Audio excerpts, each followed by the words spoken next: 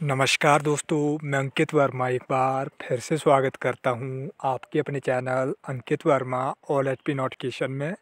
तो दोस्तों, जैसा कि आप थंबनेल पे देख ही चुके हैं कि हिमाचल प्रदेश में जो है कल बैठक में जो है, जो बड़े फैसले जो है होने वाले हैं, स्कूल, कॉलेज और एग्ज़ाम पर जो है कल की बैठक में जो है कई फैसले जो है लिए जा सकते हैं। तो किस चीज़ पर जो है कल फैसले होंगे बैठक में, इसकी जानकारी मैं आपको इस वीडियो में देने वाला हूँ। तो वीडियो पर एंड तक बने रहिए। अगर आपने अभी तक वीडियो को लाइक नहीं किया है तो वीडियो को लाइक करके शेयर कर दें और चैनल पर नए हो तो सब्सक्राइब करना बिल्कुल भी ना भूलें। जिन्होंने चैनल को सब्सक्राइब कर लिया वो साथ में बेल आइकन को दबा लें ताकि आप तक मेरी हर नोटिफिकेशन सबसे पहले पहुँच सके। तो चलिए दोस्तों, वीडियो को जो है शुरू करते हैं। तो देख सकते हैं, हिमाचल में एक मई तक शिक्षण संस्थान बंद रखने पर कल होगा फैसला। तो 21 अप्रैल तक जो है शिक्षण संस्थान जो है बंद है। अब जो है एक मई तक जो है वो बंद होंगे या नहीं, इस पर जो है कल जो है फैसला लिया जाएगा। आगे बताया है कि हिमाचल प्रदेश में एक मई तक शिक्षण संस्थानों को बंद रखने का फैसला जो है सोमवार को होगा। कोरोना संक्रमण के मामले बढ़ने पर प्रदेश के स्कूल, कॉलेजों की छुट्टियाँ बढ़ाने की तैयारी शुरू हो गई है।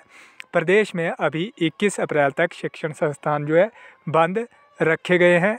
ऐसे में सोमवार को एक मई तक संस्थानों को बंद रखने के लिखित आदेश जो है जारी हो सकते हैं। सरकार ने बोर्ड कक्षाओं सहित कॉलेजों की परीक्षाओं को सतारह मई तक टालने का फैसला लिया है। एक मई को परीक्षाओं को लेकर समीक्षा की जानी है। ऐसे में संभावित है कि एक मई को ही कोरोना संक्रमण की स्थिति को देखने के बाद स्कूल, कॉलेजों को बंद रखने या खोलने को लेकर जो है आगामी फैसला होगा। प्रदेश में स्कूलों को बंद करने के बावजूद ऑनलाइन पढ़ाई को जारी रखा जा रहा है। इन दिनों बोर्ड कक्षाओं के विद्यार्थियों के अलावा अन्य कक्षाओं के विद्यार्थियों की रिवीजन करवाई जा रही है। पुरानी कक्षा के सिलेबस को सरकार ने एक माह तक दोहराने का फैसला लिया है। शिक्षकों को इस बाबत व्हाट्सएप के माध्यम से वीडियो और वर्कशीट निदेशालय रोज़ाना भेज रहा है। जिसे बच्चों को शिक्षक नियमित आधार पर भेज रहे हैं। नौवीं से जमा दो कक्षा के विद्यार्थियों का 19 अप्रैल को बेसलाइन टेस्ट भी लिया जाना प्रस्तावित है। समग्र शिक्षा अभियान राज्य परियोजना निदेशालय यह टेस्ट ऑनलाइन लेगा। इसमें नौवीं, दसवीं और जमा दो कक्षा में अभी दाखिला लेने वाले विद्यार्थियों का ज्ञान जांचा जाएगा।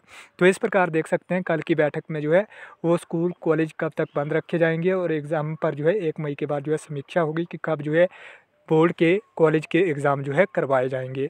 तो दोस्तों, ये थी अभी की आज की ताज़ा खबर ब्रेकिंग न्यूज़। अगर आपने अभी तक वीडियो को लाइक नहीं किया तो वीडियो को लाइक करके शेयर कर दें और Ankit Verma all HP notification को सब्सक्राइब करना बिल्कुल भी ना भूलें, ताकि आप तक हिमाचल प्रदेश की हर नोटिफिकेशन सबसे पहले पहुँच सके।